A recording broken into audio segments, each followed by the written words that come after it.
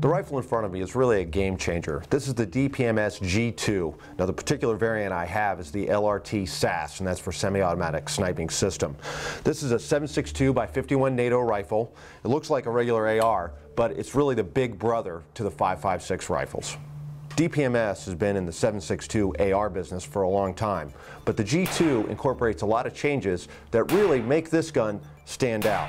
What DPMS did was look at the whole 7.62 system and try and find ways to maintain that 7.62 cartridge but to shrink things down. One of the things that they did was make this a lot more adaptable to 5.56 platforms. The nut at the front completely new and it allows the use of most AR type forends. On the back end, you don't have to use a proprietary AR-10 style buttstock. In particular, this is a standard Magpul PRS, fully adjustable. Okay, this gun comes with a 20-inch bull barrel made of 416 stainless steel, rifled at one turn and 10 inches. The forend is machined out of 7029 aluminum, and of course, with the rail on top, gives you a lot of room for mounting optics and other accessories. Like all the other G2 rifles, this particular variant takes DPMS's proprietary 20-round detachable box magazine. This gun comes with Magpul backup iron sights. Of course, they're made out of polymer. The sight itself, of course, is metal.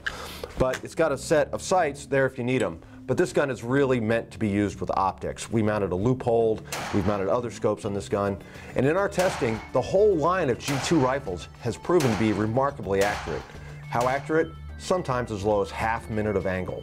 This gun clocks in at 12.6 pounds, but it's got a lot of accessories. You've got the full-length rail, of course you have the upgraded grip, you've got the palm stop here, and of course a Magpul buttstock. This is a gun designed for precision. DPMS really changed things up on the inside, in particular to the bolt and the bolt carrier.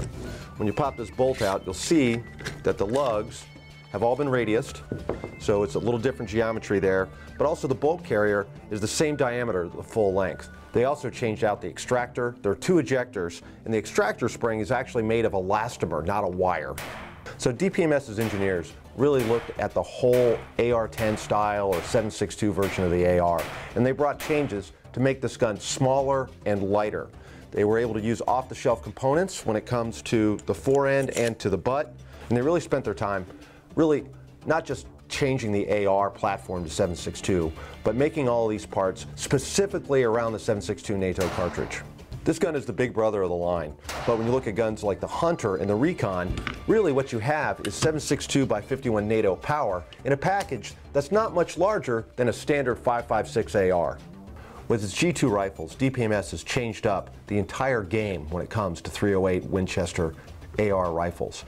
They're lighter, they're handier, they work well, and best of all, they shoot remarkably well.